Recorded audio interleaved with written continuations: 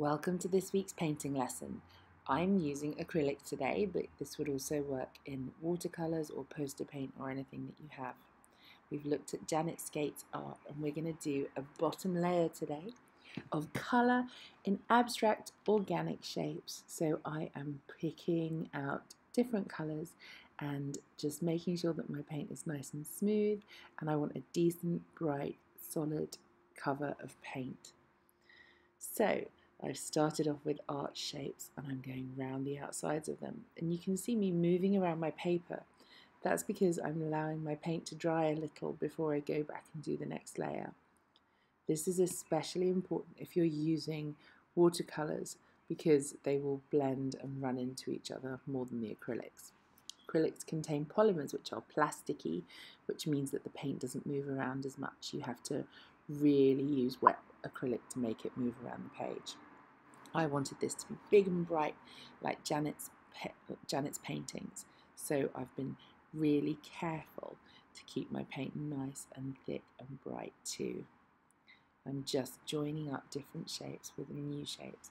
None of them are very recognizable, but you saw some triangles there, and you saw some rainbows and arches, and you can see that I'm trying to fill every space on my page. So for this session, we're just doing the first layer, which is just an abstract shaped background.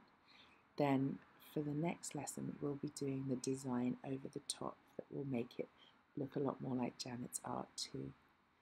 So you can add in some dots and layers and you can mix your colours a little like I am here. You need to fill every space to make it look bright and bold and interesting. Now, looking at her art, some of them she separates cool and warm colours a little. So on this one, I've decided to use cool colours. The painting I was looking at was almost all warm colour shapes, but I thought I'd have a bit of a change and see how it works with some cooler colours.